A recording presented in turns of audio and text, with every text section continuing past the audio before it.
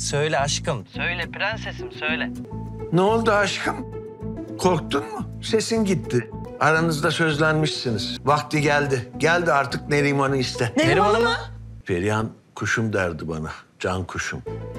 Naci sana ne diyor Safiye? Papatyan mı? Naci bugün bizde duş aldı. Doğru söylüyorum. Senin odadakinde hem de. Baba. Kız sana laf mı sokuyor han? Didişin önemli değil. Yeter ki yatağa küs girmeyin. Sıkıyorsun adamı Gülben. İyi. Yesin beynini o zaman. Bana ne? Önden bir de simit söylersin. Oh ucuza kapatırsın işi. Esra'ya yapalım mı bunu?